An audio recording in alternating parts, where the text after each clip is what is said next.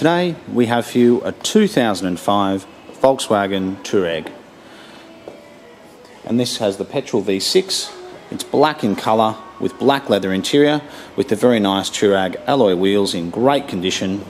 And it's got Cooper tyres all, all round actually in very good condition also. This car's done 141,000 kilometres and it has a very, very good service history. In fact, it has a full Volkswagen dealership service history from new right up until the very last service, which is very good to have and very rare when cars get to this sort of age. So this is a car which just has been very, very well looked after. The leather is like new. Even the alloy wheels are in very, very good condition. There's no gutter rash or anything like that. These cars are actually very, very similar to a Porsche Cayenne. They're just a fraction of the price, and naturally a V6, not a V8. But it's got all the luxuries fully electric seats, armrests, sunroof, climate control, air conditioning. Uh, this is also a proper four wheel drive. It's got high range, low range, a centre locking differential.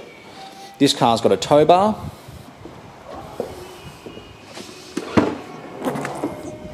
You've got plenty of room in the back.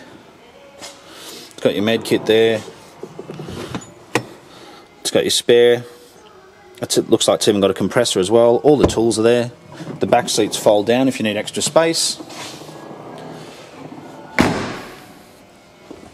It's got rear parking sensors. Again, usually your back left wheel tends to be the worst when it gets to comes to damage and things, and that's very, very good. And you can see the tread on those tyres. Unbelievable. So if you're looking for a family four-wheel drive, especially if you're looking for a Volkswagen Touareg, please come and have a look at this one. Take it for a drive. You're not going to be disappointed. It's absolutely lovely. It's got fully electric seats on the passenger side as well.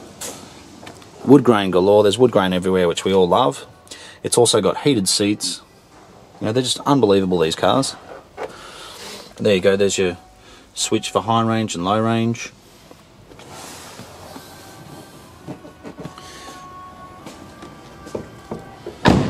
And they've also got very big brakes. Unfortunately, a lot of four-wheel drives, they're quite heavy and they just have small brakes and this has very, very good brakes indeed.